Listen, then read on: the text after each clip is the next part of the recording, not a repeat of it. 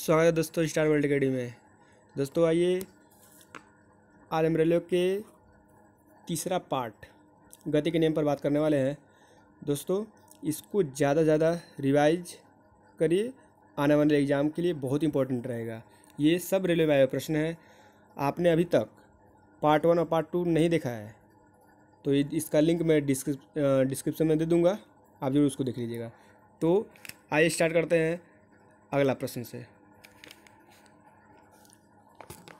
तो अगला प्रश्न क्या कह रहा है? Twenty six.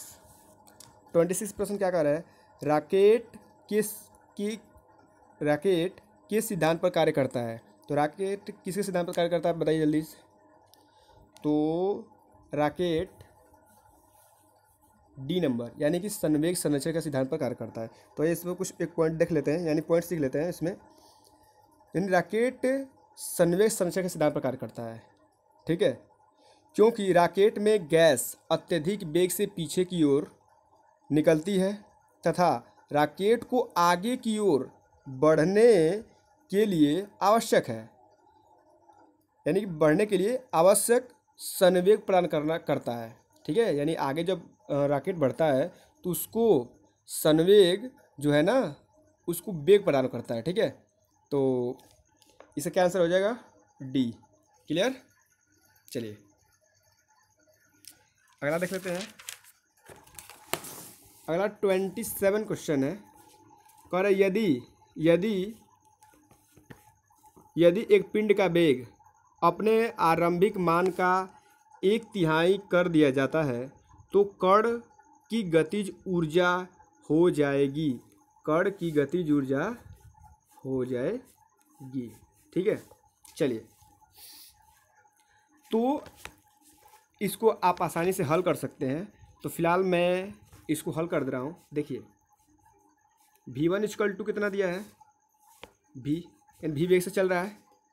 ठीक है? हम लोग तो काइनेटिक एनर्जी क्या होता है ये वाला? यानी गति ऊर्जा बराबर। एक बटा में दो एम भी स्क्वायर ठीक है? तो जब हम लोग फ़र्स्ट वाले का रखेंगे, यानी इस वाले फ़र्स्ट पहले का निकालेंगे तो क्या आएगा? क्या आएगा जल्दी बताइए? और ये भी टू है, यानी कि भी बाई थ्री ठीक है? भी बाई थ्री होगा।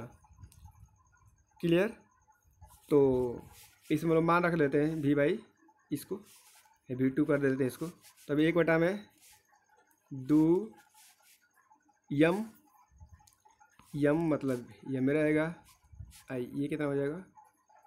कितना हो जाएगा? जल्दी से बताइए। भी बाई थ्री और भी बाई थ्री यानी कितना होगा?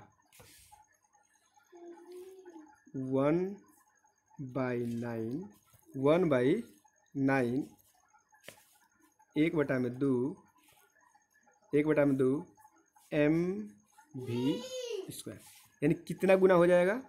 कितना गुना हो जाएगा? यानी कि एक बटा में नौ गुना हो जाएगा। तो ऑप्शन नंबर क्या इसका हो जाएगा? ऑप्शन नंबर बी हो जाएगा। ठीक है? आइए आगे तक चलते हैं।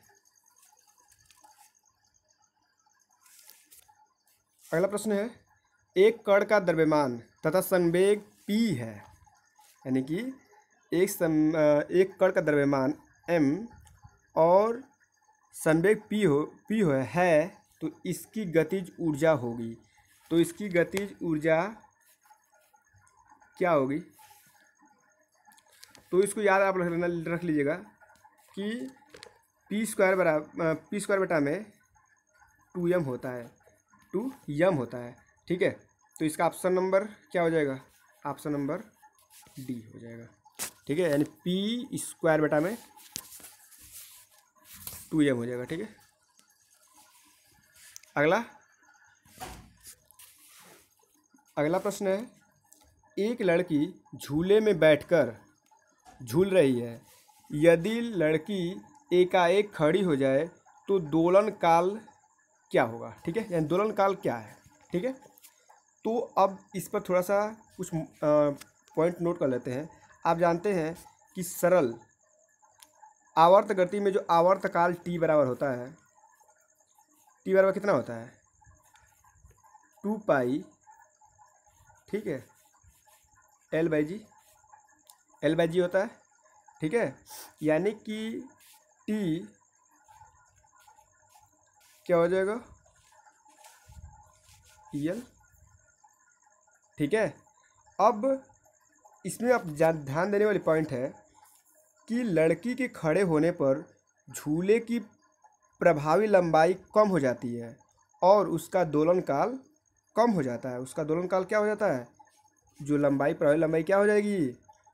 कम हो जाएगी। तो उसका जो दोलन काल होगा, यानी टी वैल्यू होगा, उसका वो कम हो जाएगा। ठीक है? तो ऑप्शन क्या हो जाएगा इसका? ऑप्शन नंबर ए, यानी कि कम हो जाएगा। ठीक है? तो अगला अगला क्या है? गतिमान वस्तु में होती है। अब तो ये तो सिंपल बात है, गतिमान वस्तु में क्या हो सकता है? तो वही गतिज ऊर्जा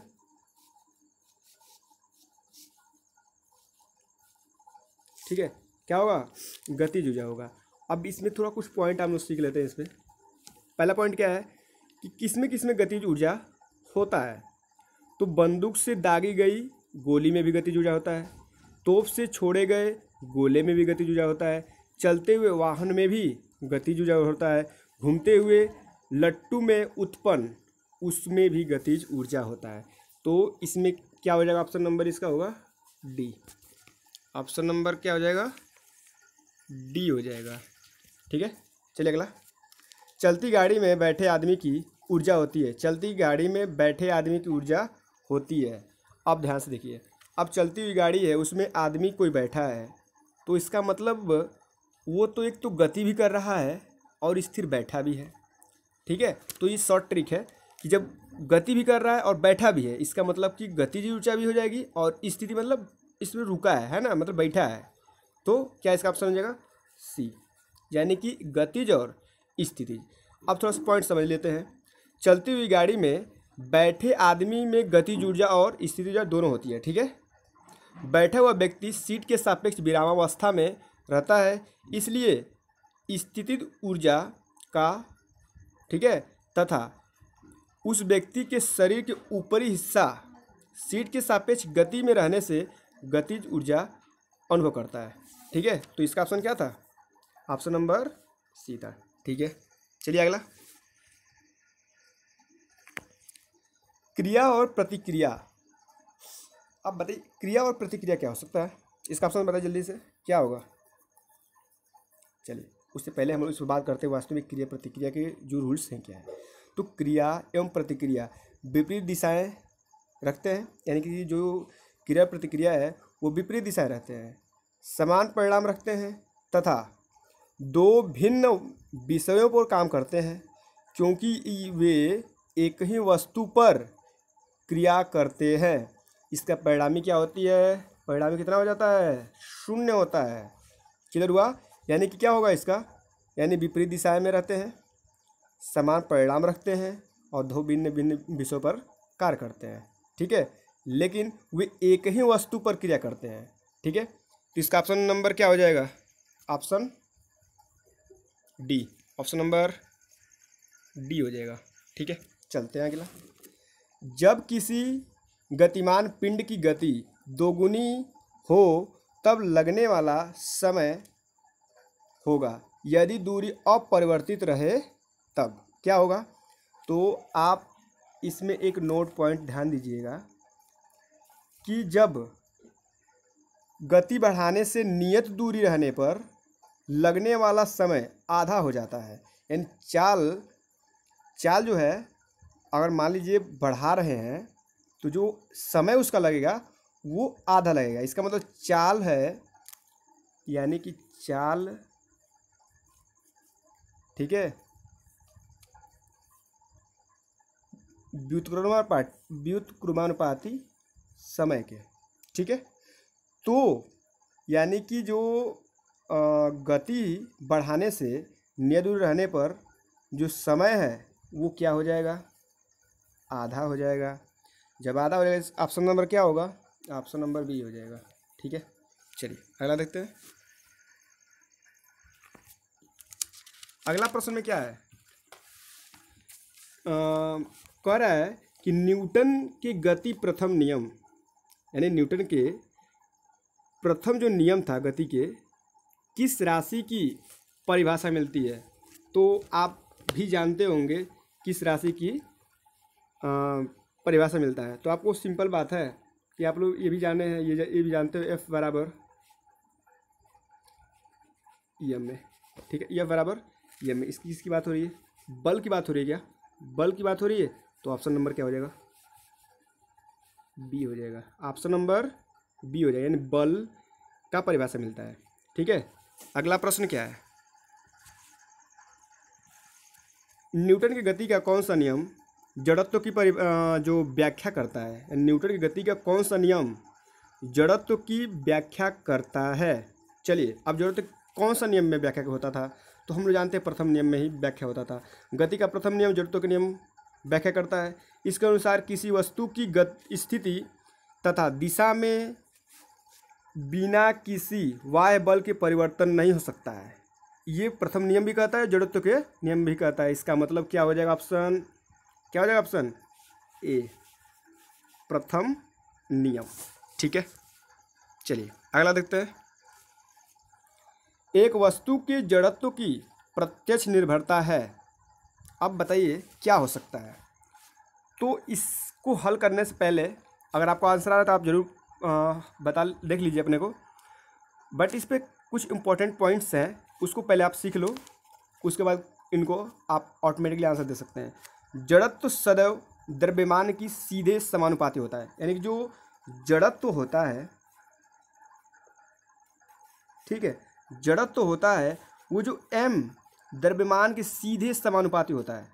जड़त्व के अनुसार कोई वस्तु तब तक अपनी विरामा विरामा अवस्था में रहती है, जब तक कि कोई वाह बल आरोपित न हो जाए। ठीक है?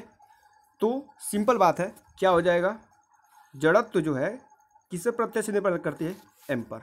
ठीक है? यानी option number option number A आगे देखते हैं। विभवांतर मापने के लिए प्रयुक्त युक्ति को जाना जाता है। तो ये तो सिंपल बात है। सी बोल्ट मीटर ठीक है? एंगस्ट्राम। अगला क्या प्रश्न था? एंगस्ट्राम क्या मापता है? तो एंगस्ट्राम क्या मापता है? तो जल्दी से बताइए यहाँ पे। क्या मापता है? जल्दी से आंसर दीजिए। क्या मापता है? B option. यानी कि तरंग दर्द मापता है। ठीक है एंगस्ट्राम अब अगला प्रश्न देखिए। टैकोमीटर वह उपकरण है जिससे मापा जाता है। टैकोमीटर वह उपकरण है जिससे मापा जाता है। जल्दी से बताइए। तो चलिए, इस पर कुछ हम लोग पॉइंट जान लेते हैं। वाहन की गति इससे मापी जाती है। यानी कि टैकोमीटर से क्या मापी जाती है? वाहन की गति मापी जाती है। ठीक है? इसे आर पी एम भी कहा जाता है। इसे आर पी एम भी कहा जाता है। क्लियर? अब टैकोमीटर अब किसमें और उपयोग होता है? तो आप याद रखिएगा, ऑटोमोबाइल। ठीक है? ऑटोमोबाइल में भी यूज़ यानी कि जो डैशबोर्ड होता है ना, उसमें यूज़ किया जाता है। वायुयानों की गति भी मापी जाती है। क्लियर? चलिए, इसका ऑप्शन क्या हो जाएगा? जल्दी से बता दीजिए। तो आप सिंपल बात है, चाल माप रहा है तो निश्चित रूप से ऑप्शन नंबर क्या हो जाएगा? डी हो जाएगा। आइए, आज का लास्ट और गति पर प्रश्न पर, यानी जितने भी गति के प्रश्न बने थे, उस पर ये लास्ट जो प्रश्न है, यानी जो रेलवे में आया हुआ था तो आज का ये लास्ट प्रश्न था। यानी थ्री पार्ट आज कंप्लीट हो गया है। आप अब तक नहीं देखे हैं तो ज़रूर उसको ज़रूर देख लीजिएगा। बहुत इंपॉर्टेंट सवाल था। तो आइए फोर्टी नंबर क्वेश्चन देख लेते हैं। ये कह रहा है एम नीमोमीटर का उपयोग मापने के लिए किया जाता है। सिंपल बात है। पवन का बेग नापने के लिए किया जाता है। ठीक है? पवन का बेग नापने के लिए किया जाता है और इसका क्षमता भी नापने के लिए किया जाता है। ठीक है? इसका क्षमता भी नापने के लिए यानी दोनों में होता है। क्लियर चलिए, इसका ऑप्शन नंबर क्या हो जाएगा? जल्दी से बता दीजिए। बी हो जाएगा। ऑप्शन नंबर बी तो दोस्तों, ये कैसा लगा? आज का सेशन कैसा लगा? आप ज़रूर कमेंट बॉक्स में बताइए। अगर आप जो चीज़ भी अगर आप दिक्कत हो रहा है, उसको ज़रूर आप कमेंट बॉक्स में बताएँ, ताकि हम ज़्यादा से ज़्यादा आपका सपोर्ट कर सकें। हमारी टीम आपके लिए लगी हुई है। अच्छे से अच्छे मटेरियल की व्यवस्था किया जा रहा है। तो आप इस सभी प्रश्नों को ध्यान से देखें, समझें और इसको ज़रूर रिवाइज करें। आने वाले एग्ज़ाम आपके लिए बहुत इंपॉर्टेंट इससे रहेगा। आप देखिए किससे प्रश्न पूछा जा रहा है, यानी रेलवे में कहाँ से प्रश्न उठ रहा है, ठीक है? तो आप इसको ज़्यादा ज़्यादा रिवाइज करिए। अगला वीडियो आने वाला है। उससे पहले ये तीन पार्ट ज़रूर आप देखिएगा। इसको रिवाइज ज़रूर करिए, ठीक है दोस्तों? तो आज के लिए इतना ही। अगर आप नए हैं तो सब्सक्राइब लाइक एंड शेयर ज़रूर करिए। क्योंकि आपकी एक लाइक से शेयर से किसी के ये जानकारी मिल सकती है। तो दोस्तों, आज के लिए इतना ही। ओके। जय हिंद, वंदे मातरम।